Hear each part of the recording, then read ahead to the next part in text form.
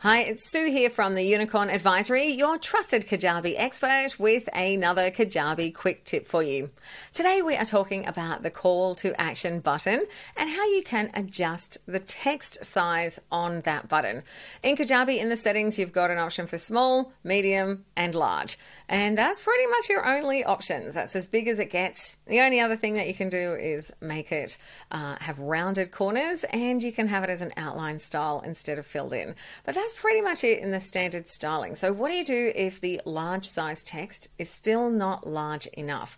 Well, thankfully there is a very easy bit of code that you can use. You can copy paste it. I will put it into the description below and you can copy paste that code into your actual button area. Then put the text that you want on the button in between the brackets of the code, and voila, you will have a much bigger call to action button. Hurrah! So you can make it pretty much as big as you want. So there are two pieces of code. There is the front part of the code, and this is where you can choose the size. So you can actually type in the size that you want. So you might want, say, um, bigger but not gigantic, or you might be like, nope, I need something that no one is ever going to miss. So you can make it like really, really big. Um, completely up to you, um, but you know, just play around and get that to be sort of how you want it to be. And you can also play around. Um, you might find that it looks better if you just make that zero and, and have it square or whatever you want to do to play around with that. Um, so that is the front part of the code. So you have these brackets and then this little instruction.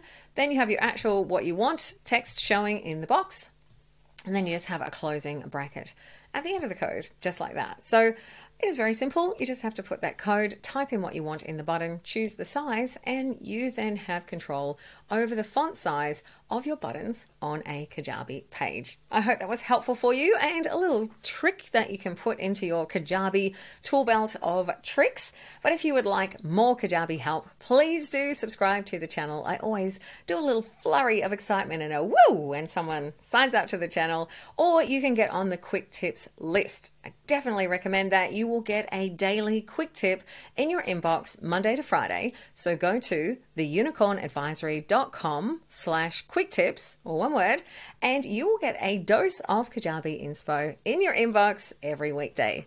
Sue from the Unicorn Advisory. See you next time.